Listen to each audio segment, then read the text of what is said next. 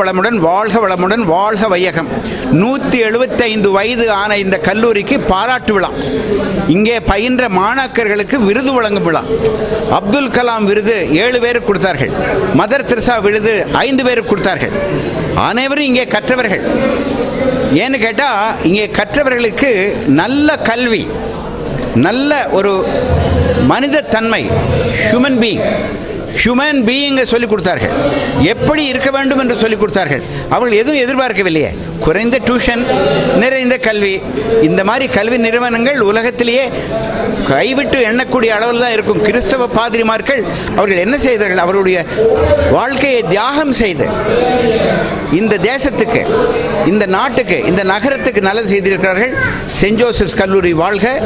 இங்கே என் மாதிரி படித்தவர்கள் ஆயிரக்கணக்கான லட்சக்கணக்கான பேர் வாழ்கிறார்கள். அவர்களுக்கு என்னுடைய வாழ்த்துக்கள். வணக்கம்.